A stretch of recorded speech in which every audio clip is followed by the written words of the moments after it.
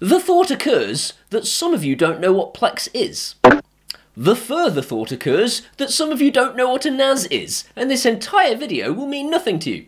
Uh, so I'm going to explain those concepts first, but stop leaving. If you already know those things, there are chapter links in the description, so you can skip ahead to the bits you don't know how to do, you impatient swine.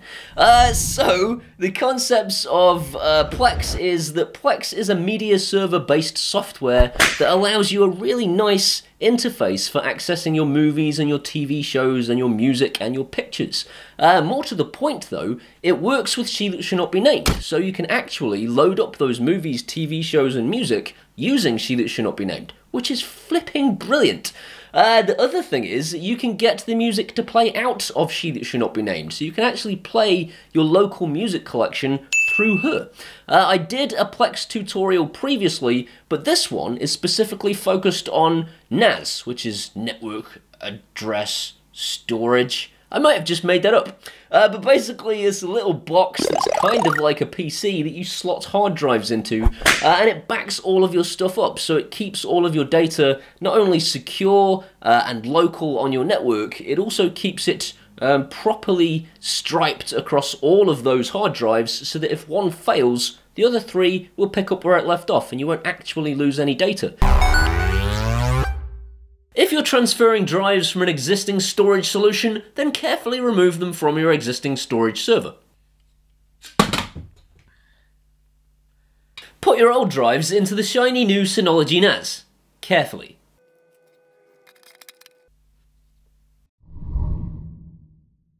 Your NAS does not have a HDMI port. I don't know that's true. I don't know you. My NAS does not have a HDMI port. Uh, that means that I can't just plug a monitor into it and then look at it and do things with a mouse and keyboard. What I have to do is connect it to my router using an Ethernet cable so that it gets a network address from the router so I can access it across the network using a PC or a mobile phone. So, you're going to need to know the IP address of your NAS. What I'm going to do is I'm going to use Fing, which is a really cool app that you can get from the Play Store, uh, to scan my network and tell me what the IP address is, uh, simply by pressing the refresh button. The bunker Synology NAS is on 192.168.0.17, uh, so all I've got to do is punch that number into a browser on any computer that's connected to the same router, and I'll get to my NAS. Simple. Step 4. Visit that IP address using any computer on your network and then realise it's going to wipe all of your movies and TV shows off your hard drives, exclaim hell no in an angry voice, uh, and then buy some new hard drives, grumpily. Put your shiny new drives in your shiny new Synology NAS and then visit the IP address again. This time you can go through the registration process, formatting the drives and selecting usernames and passwords. Make sure you write these usernames and passwords down now because you're going to need them again. Synology have their own operating system called Disk Space Manager. Very original. Uh, unfortunately, it's Linux based, which means if you're trying to connect a Windows PC to it, it's not quite as simple as just setting up a home group and networking the computers together like you would with any other computer. Because Linux is a nightmarish hellscape, you're gonna need to do something special to tell Linux it's okay, you can share the files across the network to Windows. Uh, all you have to do, quite easily thankfully, is open up Package Center, scroll down to WebDAV, uh, enable the package, and then tick the two boxes at the top. Job done.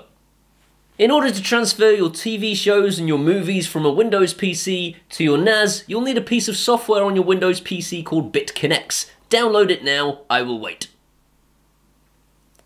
I won't really wait, pause the video. Once you've installed BitKinex on your Windows PC, there will be a wizard to fill out your port number and your IP address. Um, I'm not going to talk you through it, I'm going to show you. This guy's doing it now, look.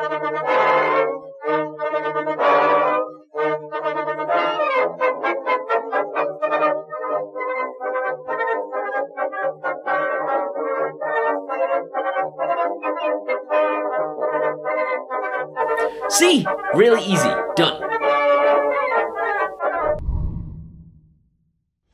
That's the hard part over. Hooray! Uh, the easy bit now is all you've got to do is go back into your NAS and then into Package Center and then enable the Plex Media Server. Uh, once the Plex Media Server is enabled, you can open it up and it will take you through uh, the process of either signing up if you're doing this for the first time or signing in if you already have a Plex account. Hold it right there, dum dum. Uh, this guy was about to walk you through then setting up the catalogue of your Plex, but you can't set up the catalogue of your Plex until your films and TV shows are in a folder that Plex can access. By default, the place I've put it in is not accessible to Plex, which is super annoying. So what you need to do is move all of your files into the Plex folder, and then we can start to catalogue the movies and TV shows. I'll let him carry on. Once signed in, it will walk you through the usual process of adding your files, and all you've got to do is browse to the videos folder and say, here are my films, and then browse to the videos folder and say, here is my TV. Plex will go, thank you, movies and TV. I will now distribute these across your network to all other Plex instances. You now have a Plex server. Yay! Uh, now all you need is a Plex client, and you can install that on either your mobile phone from the Play Store, or your Nvidia Shield in exactly the same way, uh, or your PC just by going to the Plex website, or pretty much any device you can think of, and all you do then is sign in. Uh, once you're signed into your Plex account, it will authorize you onto your Plex NAS, and then your NAS will deliver the files to your Plex client. It's as simple as that. I just want to thank Plex for setting me up with a Synology NAS, and thank Synology for sending me the NAS and an umbrella for some reason. Um, I'm perfectly content with my NAS, I really like it. I do recommend the Synology NAS to anyone that's looking for one. Uh, it's not easy to get into immediately, but it will back up all of your files uh, across multiple disks so that if one disk fails, you won't lose all your stuff. It is a really good solution for making sure you've got all your stuff nice and secure uh, and backed up. If you want to do that, there are links in the description to buy the Synology NAS that I've featured in this video. Uh, that's it.